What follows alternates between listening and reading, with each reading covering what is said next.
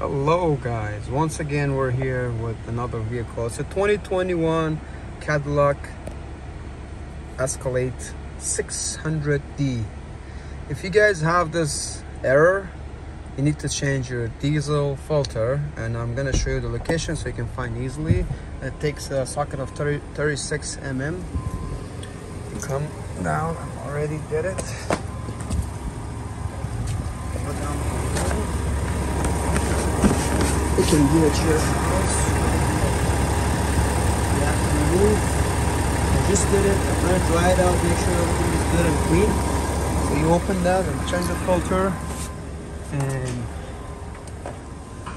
that's it. So it's a 2021 Escalade. If you get service, change fuel filter. Is that's the one the error?